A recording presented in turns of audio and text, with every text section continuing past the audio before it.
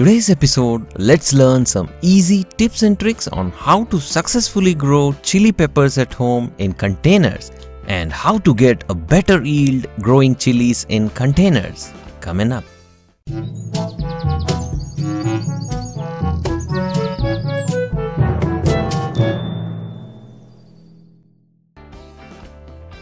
Chili peppers is a warm weather vegetable and can be easily grown in containers.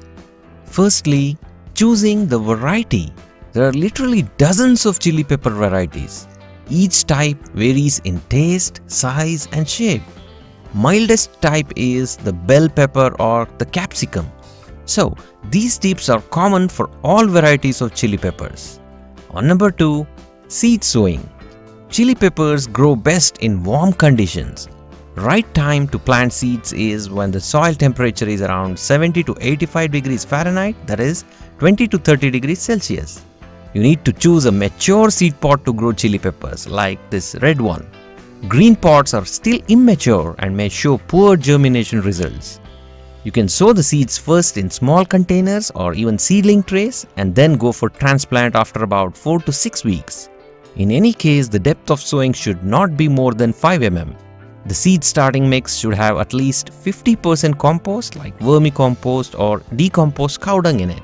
They usually germinate in 1 to 2 weeks. You can transplant these after about 4 to 6 weeks. On number 3, choosing the container. You can easily grow chili peppers in small containers. It's ideally grown in a 12 inch container. You can use good quality plastic pot or a cement pot or even a grow bag. On number 4, Potting soil mix. A well-draining soil is very important for healthy root growth. A simple well-draining potting mix should include 30 to 40% garden soil, 30 to 40% coco peat or even peat moss, and 20 to 30% compost like decomposed cow dung or vermicompost. On number 5, support or staking. Installing stakes or support is helpful, especially if they load up with fruits. You can use sticks or pipes to support them. You can also tie some strings to support the main stem. On number 6, sunlight or location. Chili peppers need full direct sunlight of at least 6 hours for flowering and fruiting. Also keep them in a spot where pollinator insects like butterflies and honeybees visit frequently. Otherwise they will fail to produce fruit and result in flower drop-off. On number 7. Watering. Give chili peppers a steady supply of moisture but do not let the soil get soggy. Daily watering is the general rule and whenever you are watering, water it deeply and thoroughly so that the entire root system is drenched with water and improper watering can result in flower or fruit drop-off. On number 8, fertilizers. Firstly, during transplant, adding some amount of phosphorus source like bone meal powder or organic rock phosphate will really help the plant to induce lots of flowering and fruiting and also it confers resistance to pests and diseases, especially the leaf curl virus.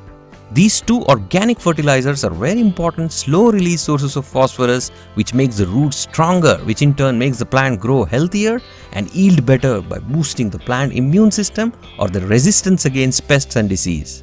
Secondly, a handful of compost like the decomposed cow dung or vermicompost or both once every 15 days is the minimum requirement for chili peppers.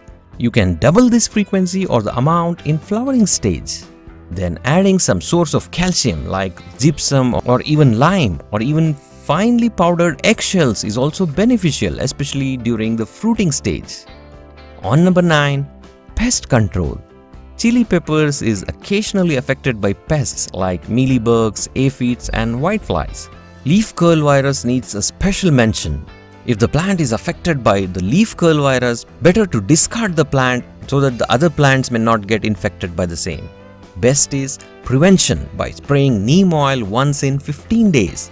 Like 5 to 10 ml of neem oil plus some liquid soap in 1 liter of water is the recommended dosage.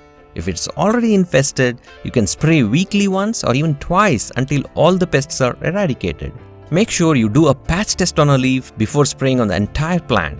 On number 10, pruning or trimming. Trimming promotes branching and this in turn produces more flowers and more fruits. One important tip here is when the plant is about 6 to 8 inches tall, Pinching the growing tip will result in a bushier plant and also remove any flowers that appear early as the flowers diminish the plant's overall energy. You can harvest chili peppers anywhere between 60 to 100 days after planting. Please like, share and comment below with your feedback and queries. Happy gardening!